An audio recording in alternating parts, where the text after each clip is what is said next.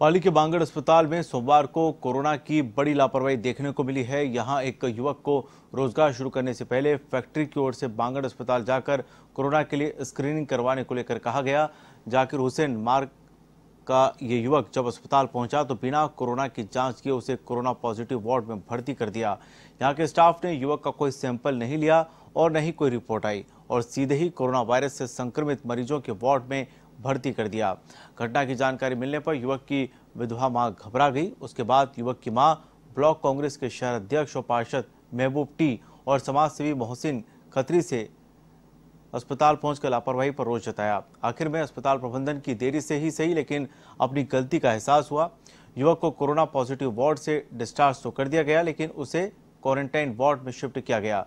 युवक का कहना है कि अब वह पॉजिटिव आ गया तो उसकी ज़िम्मेदारी कौन लेगा? आपको बता दें कि इस अस्पताल में पहले हुई तीन लोगों की मौत पर परिजनों और नेताओं ने भी आरोप लगाए थे।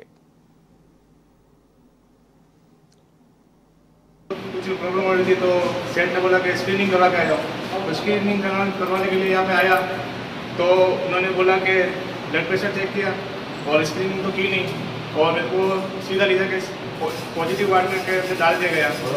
अब मैं दो महीने से दो तीन महीने से बैठा हूँ अभी काम पे चढ़ा हूँ। तो अभी अगर खुदा ना खास्ता मेरे को चौदह दिन के लिए या पंद्रह दिन के लिए, महीने भर के लिए आइसोलेशन में डाल दिया तो मेरे घर का खर्चा कैसे चलेगा? क्योंकि मेरे पापा का इंतकाल हो चुका है और कमाने वाला भी मैं पाली के अंदर में ही हूँ और मम्मी है, इसलिए।